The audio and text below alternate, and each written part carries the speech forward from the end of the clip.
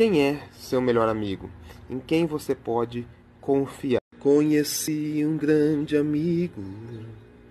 Ele é filho de Deus Pai. O seu nome é Jesus Cristo. Esse louvor ele fala que Jesus ele é o seu amigo, grande amigo, e nele você pode confiar. Realmente, Jesus, ele é o nosso amigo verdadeiro. Jesus, ele é em quem nós podemos confiar realmente, incondicionalmente.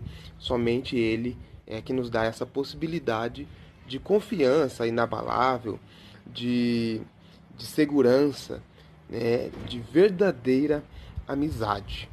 Mas será que só Jesus? Mas eu quero ir além e dizer que você deve ser essa pessoa. Você deve ser este amigo em que é, alguém possa confiar.